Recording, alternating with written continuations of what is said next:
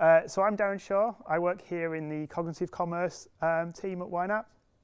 Uh, what I wanted to do is kind of tell you a little bit the, about the company, um, try and introduce why we're interested in AI, because um, kind of we work in fashion, so you know, try and explain why we think AI has got a role to play in that, uh, and also kind of talk about a couple of the projects that we've, we've started on. So we're a relatively new, new team, but hopefully I can give you a bit of an introduction into that. Um, so I'll start with um, Yoox Net-a-Porter Group, or YNAP as we all call it because it's a lot easier to say. Um, so it's the world's leading online luxury fashion uh, retailer. It's probably best known in the UK for some of our multi-brand sites, so Net-a-Porter, Mr. Porter, The Outnet. Uh, but we also run a lot of the sites for some of the kind of high-end uh, designers, so Armani, uh, Missoni, Chloe. There's a whole range of, of different brands that we run the, the kind of web in infrastructure for. Um, there's about five and a half thousand people work for YNAP now. Um, it's kind of spread across, I think it's 10 offices around the world. Um, it's, it's kind of, um, it's a, it's a kind of very dynamic company. They're, they're very kind of keen on, on this idea of um, representing their customers with their staff. So it's kind of very diverse. Um, I think we've got 96 different nationalities. Um, it's a really kind of even mix on gender. Um, and um, yeah, it's kind of a, an interesting place to work. I think the thing that YNAP um, is maybe a bit, a little bit different about some of the other online fashion retailers is that um, as well as kind of selling products and the kind of retail side, um, editorial content is a big part of what we do. Um, so Net-a-Porter was started as a online fashion magazine that you could shop from. Uh, and that's kind of continued on now. So we kind of produce content. It's not just about kind of selling. It is about selling the clothes, but it's also about producing ed editorial editorial content. And as you'll see, that will kind of come in um, as, as why some of the AI stuff is relevant. So you're in the tech hub right now. Um, this is our kind of brand new um, tech hub.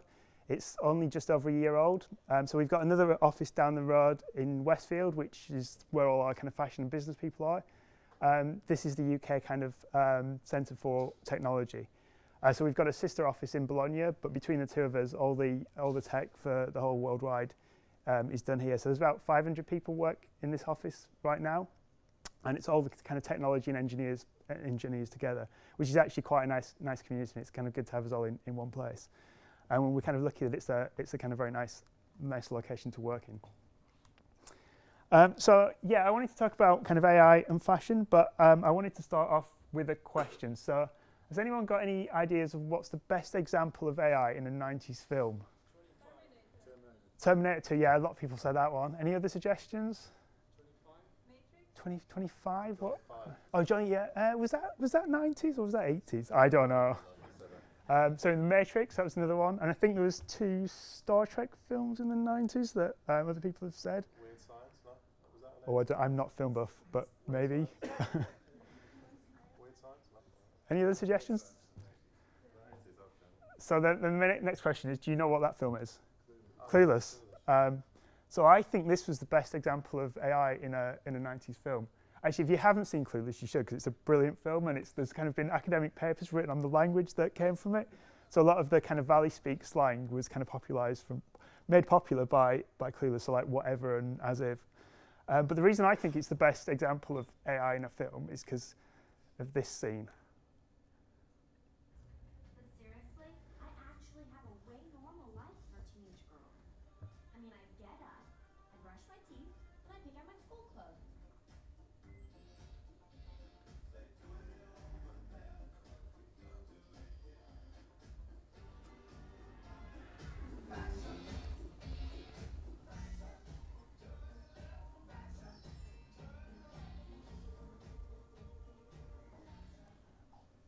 So the reason, I, the reason, well, there's actually several reasons I, I love this. One is just this kind of CRT touchscreen, which I know was possible, but it just seems really weird that you've got this kind of really chunky touchscreen with, um, yeah, it just seems, I mean, it's 25 years old, so it's kind of ahead of its time.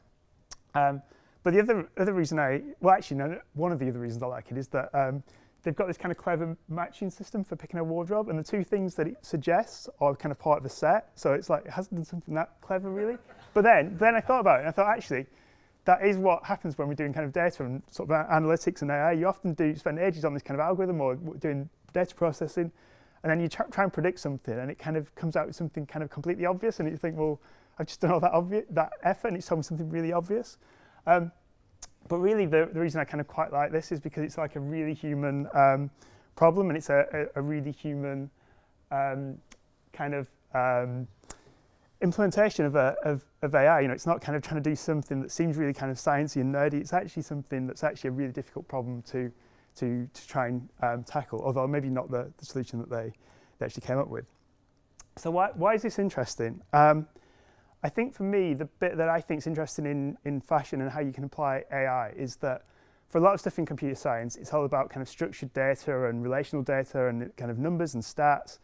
Um, and you can get along with that, a long way with that sort of data. So if you're trying to recommend books or music, um, you know, the stats, the raw stats can kind of tell you a lot of stuff. Um, but that kind of structured data, it's not going to tell you what kind of clothes match for you and don't match for your friend, or it's not going to tell you what kind of attitude the trainers you're wearing give off, or it's not going to tell you that pastel floral dresses are going to be on trend for 2018.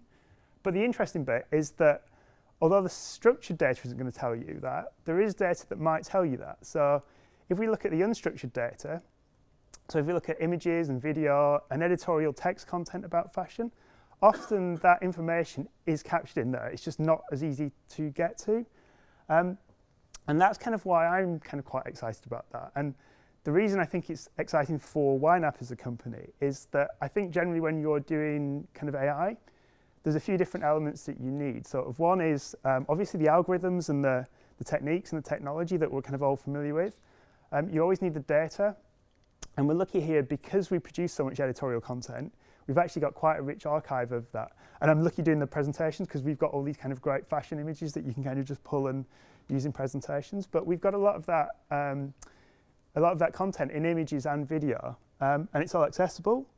Um, we've also got really rich descriptions. So we've got, um, if you look at like Net-a-Porter, the, the site, it's not just kind of, there won't be a t-shirt labeled as red t-shirt it'll have a really kind of elaborate descriptive um, text around it, and it'll be like maybe six or seven paragraphs long describing that that t-shirt. I mean, probably it'll cost you 800 quid, but it's kind of really good um, content there. And also we do this this kind of editorial content, um, which is kind of magazine level um, mag magazine level kind of quality. But the other important thing that we've got, which I think is really what sets us apart and why I think we can do some interesting things in this area, is that we've actually got the experts that understand this data. So down in Westfield, we've got you know a building full of um, fashion experts, whether they're kind of fashion writers, they're merchandisers, photographers, um, stylists, personal shoppers, and they've got all this kind of knowledge locked up inside them, and they can look at lots of images and say, well, that's the kind of common thing here, or that's why these work. Um, it's kind of it's captured in, the, in their brains, but it, it it's it, it is there. Um, and really, I think what we'd want to be able to do is we'd like to be able to give all of our customers access to those experts. But obviously, you know, with millions of customers and a few hundred experts, that's not possible. But we really see AI as the way of scaling that expertise out. So I think for us, it's interesting because it's combining kind of structured data, unstructured data, with the um, expert knowledge that we've got within the in the company.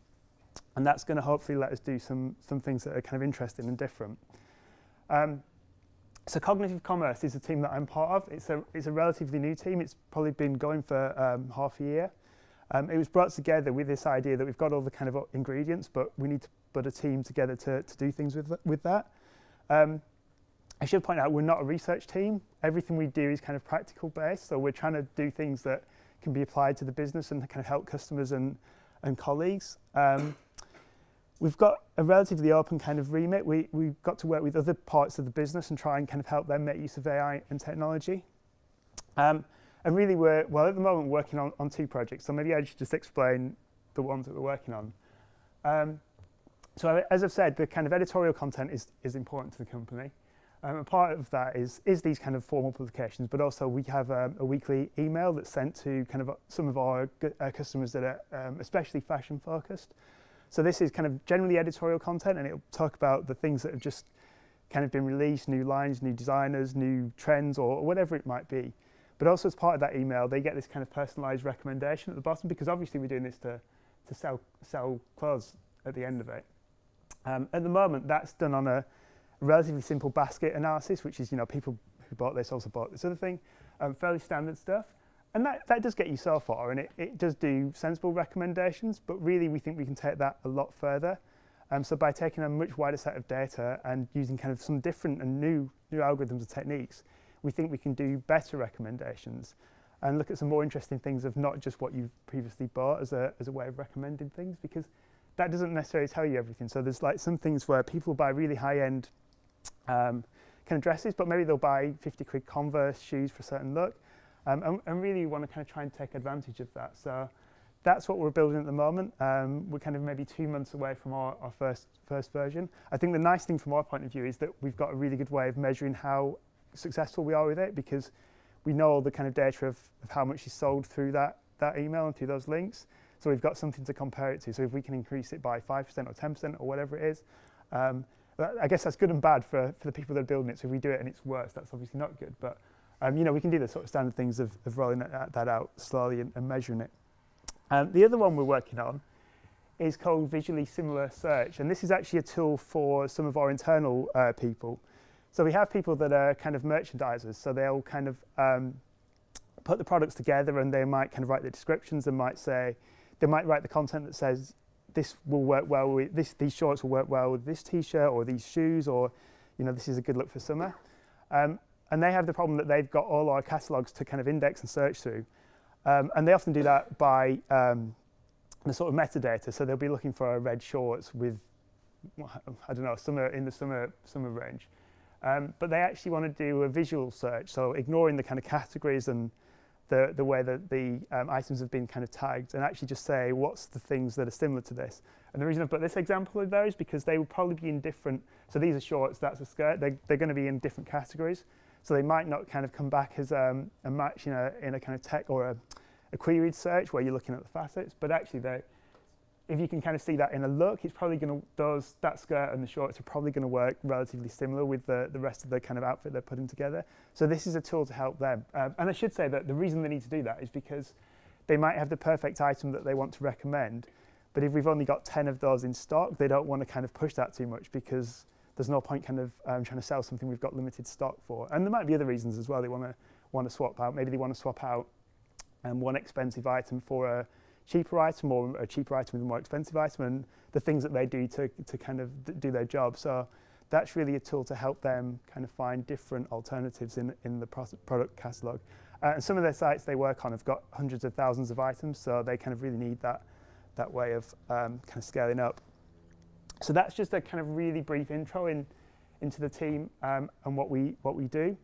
As I said, it's a, it's a brand new team, so we're, we're really just kind of getting started with, with this. Um, I think we're all excited about the kind of opportunities that we've, we've got in the team and certainly just the, the range of data and experts that we've got that we can work with is kind of really exciting. Um, I should also say we are recruiting, so if anyone is kind of, if this sounds interesting to people and, and they want to get involved, um, my email's at the bottom, but Neil, who's at the back, who's our delivery manager. Uh, uh, he's there, and also Michael at the back, who you've probably all, all met. Um, if anyone, anyone is interested, then send them an email. Or if, if you just want to know more about what we're doing, then kind of give us an email too, and, and we can have a chat. And we'll be around for, for kind of most of the evening as well. So, so come and find us if you've got kind of questions or ideas or, or thoughts. Um, yeah, so thanks everyone. Thank you.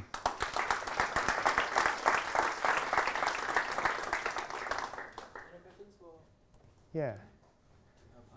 Was that, that a question? Go on. A fashion range. Do you know, I think maybe, but but I think one of the things I quite like about so I think there's there's there's always this kind of slightly whimsical thing in fashion where I don't know that it can ever be completely kind of described or explained. I think we can get some way there, but it does have this. Um, actually, in my interview here, I kind of use the phrase random and um, Neil's boss said, it's not random, Darren, it's whimsical, um, because it, you know, it's not, it's not random. Um, so I think it might. Um, I don't think that would be something that we would do, because I think here we're kind of quite proud of the kind of editorial content and the direction and that kind of still human element of it's, we're not one of, there are different kind of companies that are kind of completely want to go down a, an algorithm route. I think we're, we'd probably try and find a nice balance of kind of the computers helping the, those kind of human experts. Um, but I'm sure other people might might do that. Um,